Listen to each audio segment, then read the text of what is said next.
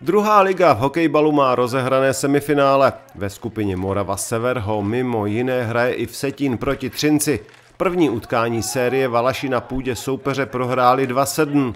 V domácí odvetě už byli úspěšnější. Ve velké bitvě byl stav po dvou třetinách 1-0. Branku zaznamenal Brázdil. Z poslední třetiny uběhlo pět minut a domácí se radovali po druhé. Do soupisky střelců se zapsal Škabraha. O dvě minuty později se podařilo Třinci snížit zásluhou Klimka, ale i přes závěrečný tlak se mu vyrovnat nepodařilo.